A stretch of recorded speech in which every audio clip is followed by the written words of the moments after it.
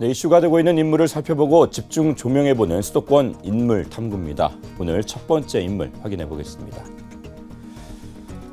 네, 오늘 인물 탐구는 한 명인데요. 미디어 아티스트 고 백남준입니다.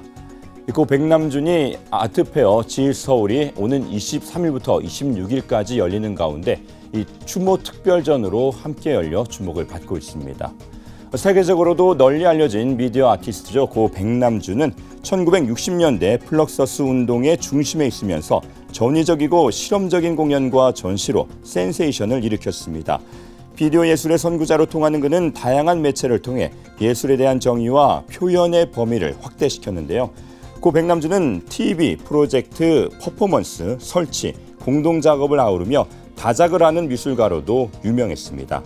이미 지난 1974년 뉴욕에서 지금의 인터넷과 같은 전자 초고속도로의 개념을 구상했고 1995년에는 이를 336개 텔레비전을 이용해 전자 초고속도로 미국 본토 알래스카 하와이라는 대형 비디오 설치 작품으로 표현하기도 했습니다.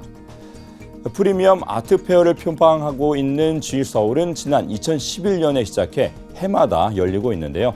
올해는 특별히 백남준을 추모하는 텔레비전이라는 전시를 통해 갤러리가 소장한 그의 작품을 만날 수 있다고 합니다.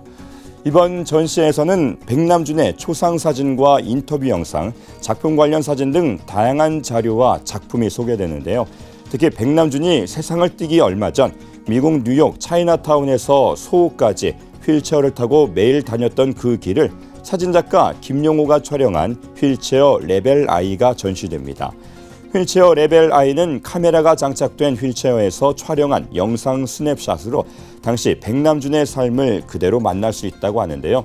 올해로 5회째를 맞는 G서울 아트페어는 오는 23일부터 26일까지 서울 동대문 디자인 플라자 알림터 1, 2관과 국제회의장에서 나흘간 열립니다.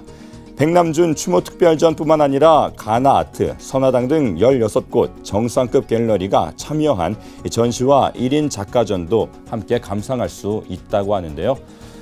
지금까지도 존경받고 있는 세계적인 미디어 아티스트 백남준을 만날 수 있는 좋은 기회인 것 같습니다. 이번 전시를 통해 백남준의 작품 세계를 마음껏 감상해 보시면 좋을 것 같습니다. 지금까지 수도권 인물탐구였습니다.